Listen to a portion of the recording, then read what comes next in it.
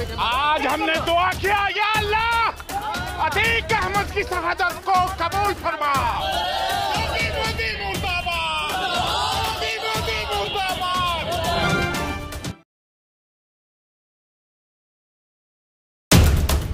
नमस्कार, आप देख रहे हैं नाइन तक बिहार। आपको बता दें कि अतिक अहमद की जिस तरह से पुलिस कस्टडी में सरेआम गोली मारकर हत्या कर दी गई थी, यह मामला अब पकड़ता जा रहा है। जहाँ बड़े बड़े राजनेताओं ने इसकी घोर निंदा की है, कड़ी शब्दों में निंदा की है, वहीं आज जुमे की नमाज़ के बाद पटना में इसका विरोध किया गया।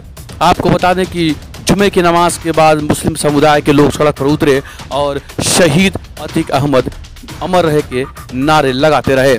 उन्होंने कहा कि इसमें साजिश के तहत मरवा दिया गया है।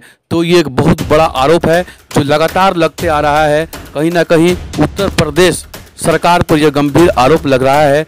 अभी कुछ दिन पहले मुकेश सहनी ने भी कहा था कि महाजंगल राज है। इस तरह से तमाम नेता भी सवाल उठाते रहे हैं। लेकिन आज पटना में जुमे की नमाज़ के बाद जो मुस्लिम समुदाय के लोग हैं, वो सड़क पर उतरे और आइए सुनाते हैं उन्होंने और क्या कुछ कहा है।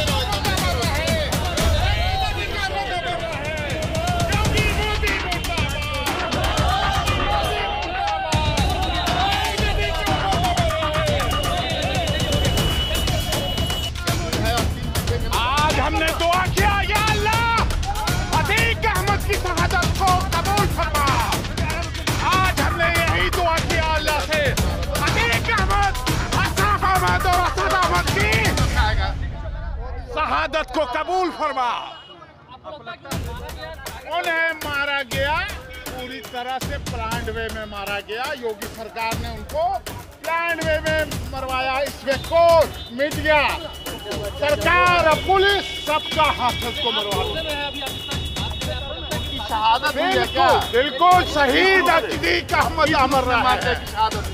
शहीद हुआ वो रोजा के दिन में उसको अपराधियों के ज़रिए सरकार और पुलिस ने मरवाया वो शहीद है।